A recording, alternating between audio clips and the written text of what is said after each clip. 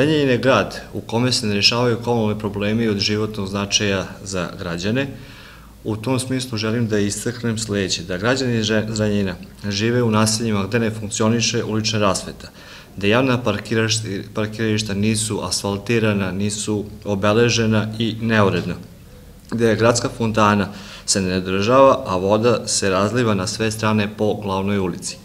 Takođe, kolovozi su nam prepuni udarnih rupa, staze bicikličke i trotoari neravni i ne održavaju se od vremena njihove izgradnje.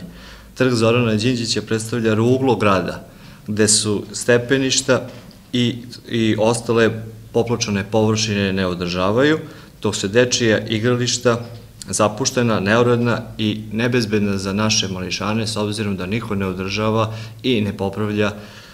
ovaj, ovaj, ne popravlja sprave na igralištima.